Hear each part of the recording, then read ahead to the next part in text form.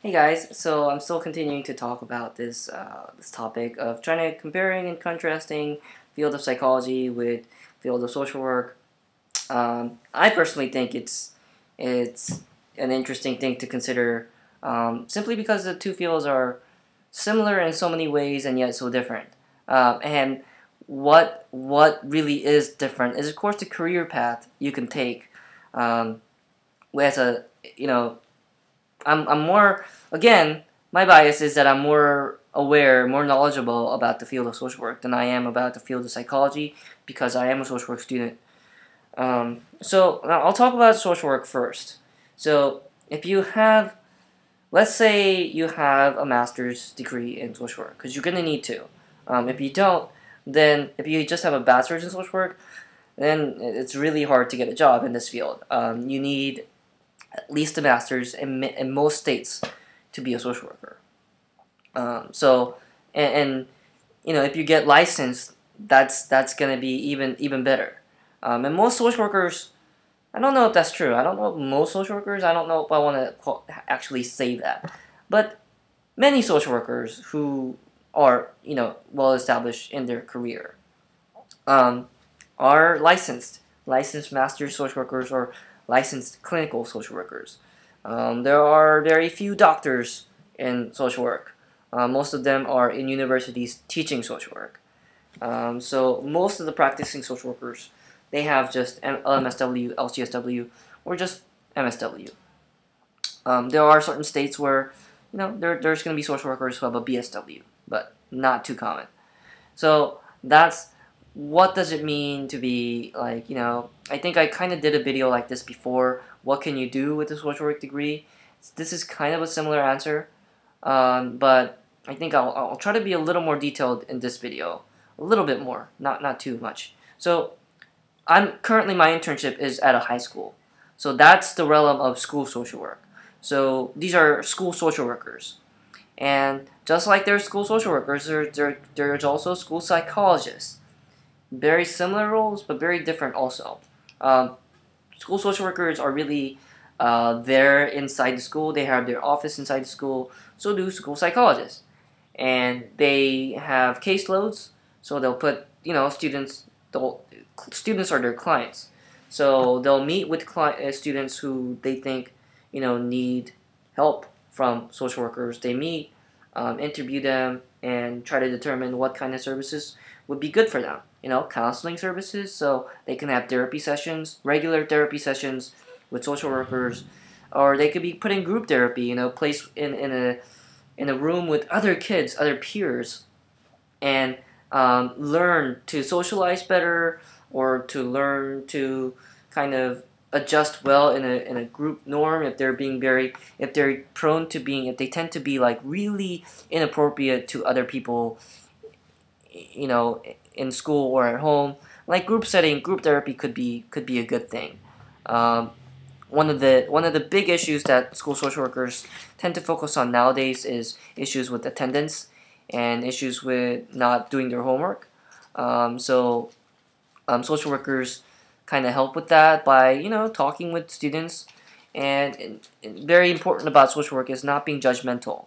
So there's going to be teachers who are like you need to get this done and you know kind of be disciplinarian about it. But social workers really kind of just ask questions like okay so what happened?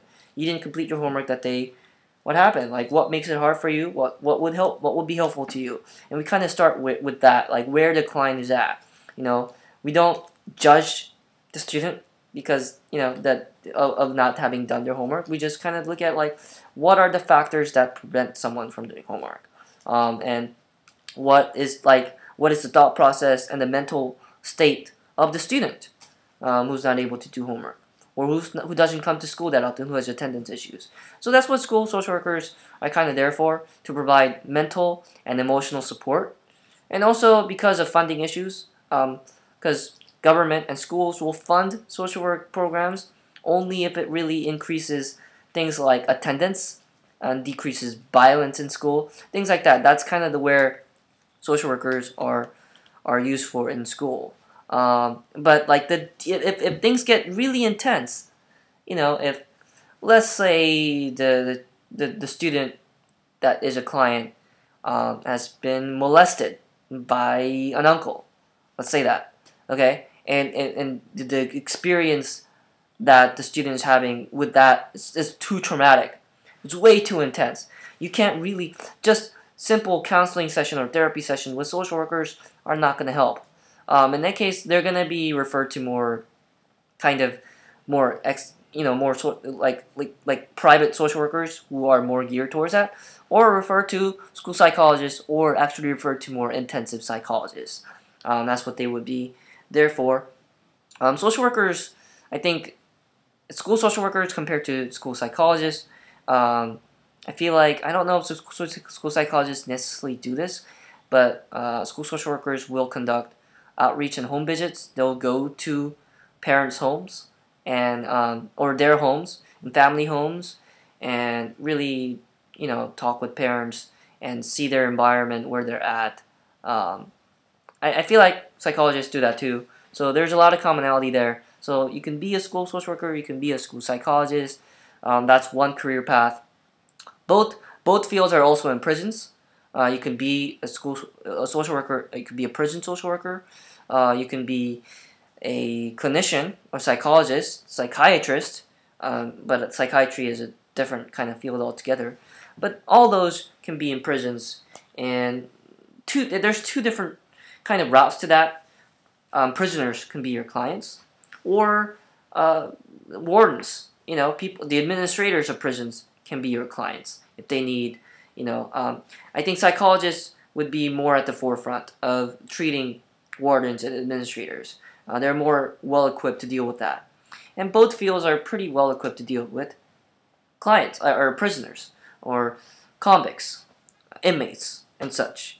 Um, and, you know, outside of prison, if they're recently released from prison, back to society, also, you know, that's, that's something where social workers and prisoners, I mean, not prisoners, sorry, social workers and psychologists come into play. There's definitely uh, profession there. In regards to law enforcement, and this is unique to psychology, um, psycho psychology majors can choose to become like profilers, you know, FBI profilers. You you've seen a couple of those in a lot of popular TV shows and movies. You know, like The Criminal Mind. A lot of those have psychology background. Um, you guys ever seen Bones? Um, Lance Sweet, you know, doctor in psychology. So profiler definitely something to be social worker, you can't you can't be a profiler. Uh, that that's that's not a career path that is open to you. Um, but the social work is more about well, as the name suggests, it's it's about it, it considers it's more concerned with like environmental factors and social factors. So, you know, a community organizer can be a social worker, um, but not. It, it's it's a different kind of you know, you can be a so community organizer without a social work degree, but being a, a social worker community organizer, um, it's very similar to community organizer, but it's it's they have that extra social work training, so like it's it, it's kind of different in a way. Um, but you can definitely be a community organizer, political activist, um, or social activist. You know, um, I I worked with under I worked in an agency that did that, uh, or interned in an agency that did that. Um, and work with lawyers too. Legal Aid Society utilizes social workers. Um, and I'm not sure if they hire psychologists, but that's more of a social work thing um, to be working under attorneys um, and kind of working with the clients that are, uh, you know, that lawyers consider as clients. So legal work is certainly within the realm of social work Whereas psychology, not so much. So you see the difference there, like the law enforcement, you know, FBI profiler, um, and defending, you know, defending a client or I don't know. I don't really know prosecuting a client kind of entails that. Don't really think so. I think I think social work was more focused on defense law, defense law, or civil law. Um, defense law, civil law, criminal law.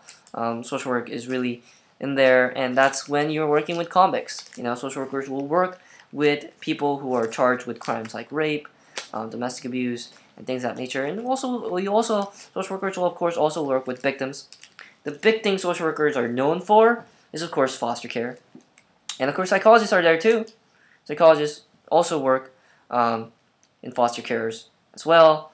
They're in many agency settings. You know, you'll find psychologists in homeless shelters, in mental health um, institutions, in hospitals. You'll also find social workers and psychologists, and that's that's medical work. You know, I think in hospitals it's much better to be a psychologist than to be a social worker. Um, not to, not not dissing medical like hospital social worker, but I'm just saying they have a lot more freedom to do what they want to do. Um, hospital social workers, because of funding issues and because most hospitals in America are considered for profit. Um, so the bottom line is about money. And so because of that, social workers don't have time in hospitals usually to actually work with the client. They're much more focused on like discharging a client for some reason. Um, discharging a patient actually sorry wrong wrong terminology in hospitals discharging a patient um, in certain hospitals they, they're considered consumers which goes to show you how profit, you know, how hospitals are for-profit institutions as compared to other social work settings. Um, but, but it, it's the terminology is different based on the setting. Like prisons, for example, your clients are inmates and convicts. Uh, so th those are kind of the different areas. Um, I might, I'm forgetting a lot. Oh, so another big focus on psychology is researcher.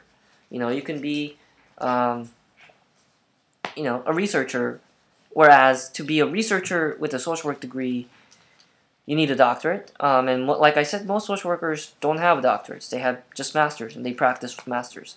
Um, and most psychologists, most psychologists have a doctor's doctorate because in psychology you can't really get anywhere in that in that profession without a doctorate. Um, there are still some path available to you. It's recently been uh, made aware to me that you can become a licensed mental health counselor um, with a master's in psychology.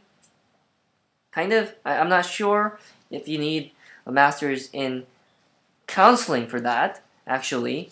I'm not sure, but hmm. You can you can definitely get like a licensed family marriage therapist license thing. I forgot the exact name of that title. Um, but you can become you know, you can have that as a as a master's degree. You can become a case manager on either side. You can become a case manager with a bachelor's in social work. Actually, uh, depends on what kind of case managing you're doing. Most case managers they're gonna want a master's from you. And if you have a psychology degree, if you have a master's in psychology, great. You can become a case manager working in a setting that provides services to people living with HIV and AIDS. Um, working in a setting that provides services to people that are chemically addicted. Um, so, you know, those require that's kind of the career path of psychologists and social workers. Um, you'll notice, you know, there are a lot of similarities between the two, but the, there there is kind of the this complete uh, difference there. You know, social workers can't be profilers, and psychologists don't work for attorneys. You know. Um, also, another thing I think I don't think I mentioned diagnostician in here. I mentioned in the previous video, but um, psychologists can diagnose and um, and provide prescription medicine. They can prescribe medicine, not psychologists, not psychologists. Sorry, psychiatrists can prescribe medicine. Sorry, um, huge error there. But psychologists will diagnose. Social workers generally do not diagnose. Not even doctorates in social work. They do not diagnose. Um, we, we, for diagnosing, we will refer, we social workers will refer the client to a psychologist. Um, but our the psycho so, biopsychosocial done by a social worker usually does not include new diagnosis, um, whereas for psychologists and even you know uh, PNPs, psychiatric nurse practitioners can have uh, they can do diagnosis in some way. Uh, but yeah, it's a long video, so I'll stop talking here. Uh, next video, I'll do my final video on this topic of social work versus psychology. And it's going to really be on just prestige. So, alright?